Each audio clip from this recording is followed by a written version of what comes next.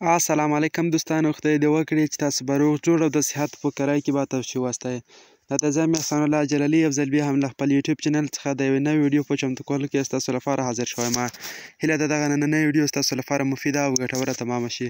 په نننۍ ویډیو کې مې درته یوه داسې زبردسته طریقه راوړې ده چې څنګه تاسو کولی شئ په خپل موبایل کې دغه د موبایل بیټري ورژن ور زیات کړئ او ستاسو د بیټرۍ کیفیت ور ښه کړئ دغه ستاسو موبایل به چارج زر ختموي ستاسو بیټرۍ به چارج زر ختموي او ستاسو دغه موبایل به زر نه چارجیږي دغه ټول ستونزې به حل کیږي یعنی تاسو موبایل به هسې چارج نه وهي هغه اپلیکیشنونه چې تاسو نه غواړئ هغه به تاسو څخه چارج نه مصرفوي دغه اسانه طریقه زه تاسو ته نن ویډیو کې درښایم خو تر ویډیو شروع کې دا مخکې که چېرې تاسو زمونږ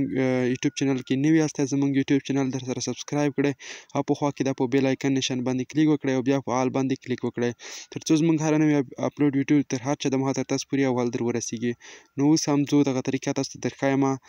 تاسو به لومړی راشئ خپل د موبایل سیټینګ ته کله چې تاسو راغلی خپل د موبایل سیټینګ ته بیا به راشئ دلته په اخر کې دغه د ډیوایس کیری په نامه باندې په دا آپشن باندې به کلیک وکړئ کله چې تاسو په دغه باندې کلیک وکړئ نو تاسو به سمپل راشي په دغه بیټري باندې به کلیک وکړئ ښه دوستانو کله چې تاسو په دې باندې کلیک وکړئ تاسو به دلته وګورئ چې تاسو په موبایل کې چارج څومره اویلیبل دی دلته موږ دوستانو کتلی شو چې په زموږ موبایل کې اووه ساعته او څلوېښت منټ چارج اویلیبل دی او دومره کار موږ ورباندې کولی شو دغه به تاسو راشئ سیمپل په اوله کې یوه بله طریقه له دې مخکې درښایم ما دغلته به تاسو راشئ زمونږ موبایل اوس اته نوي فیصده یعنې ګوډ دی یعنې آل ګوډ نه دی نو تاسو به راشئ په دغه کله چې تاسو موبایل مصروف شي نو تاسو به په دغه اپټیمیز ناو باندې کلیک کوئ ستاسو موبایل به بالکل له وایرس او له نورو مؤثرو شیانو څخه په امان کې ساتل کېږي دغه دی تاسو کتلی شئ چې اپټیمیز شو او بیا به په دا ډن باندې کلیک وکړئ تر څو ستاسو موبایل په ښه توګه سره عیار شي بیا به هم راشي په دغه بیټري باندې به کلیک وکړئ په پاور موډ باندې به کلیک وکړئ کله چې تاسو په پاور موډ باندې کلیک وکړل نو میډیم پاور سیونګ باندې به کلیک وکړئ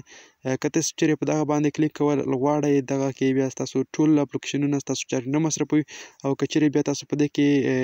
د میکسیمم پاور سیونګ باندې کلیک وکړئ نو دې کې تاسو چارج بیا بیخي زیاتیږي له نیمایي څخه هم زیاتیږي هغه کې بیا تاسو کولی شئ صرف اته اپلیکیشنونه استعمال کړئ هغه طریقه بیا هم راتلونکي کې در سره شریکوم خو اوس راځم د میډیم پاور سینک باندې دغه ویډیو درته ښایم او دلته بیا تاسو راشئ په دغه افلی باندې به کلیک وکړئ کله چې دلته تاسو په افلی باندې کلیک وکړئ نو دلته ټرنینګ آن روان شولو دا چې کله سلف ته ورسېږي نو تاسو موبایل به بالکل چارج زیات شي دلته بیا راشئ تاسو په دغه باندې به کلیک وکړئ تر څو دغه هم خلاص شي تاسو اوس کتلی شئ چې دلته وګورئ اوس څومره شو چارج زموږ موبایل اته ساعته او دوه پنځوس منټه له اووه ساعته او څلور منټ څخه تر دې ځایه پورې راورسېدلو نو دلته که چېرې بیا تاسو غواړئ دوستانو چې تاسو موبایل زر چارج شي نو تاسو به راشئ دغه چارجنګ ته کله چې تاسو راغلی چارجنګ ته نو دغه فاسټ چارجنګ باندې به کلیک وکړئ خو دغه ورستنه تاسو په هغه حال کې خلاصوئ کله چې تاسو موبایل چارج کوئ په هغه حال کې به یې نه خلاصوئ تاسو چې کله موبایل استعمالوئ بیا تاسو څخه چارج زر وهي نو کله چې تاسو چارجر ته موبایل ور اچوئ تاسو به دغه خلاصوئ او کله چې ورڅخه لرې کوئ نو دغه به بیا هم اپ کوئ نو دغه ویډیو دوستانو ویډیو که خوښه مو شوې مو لایک ورکړئ تر بیا هرې بلې ویډیو چې زه احسان الله جلالي ستاسو په درنه حضور کې حاضرېږم ماته اجازه راکړئ د الله په امان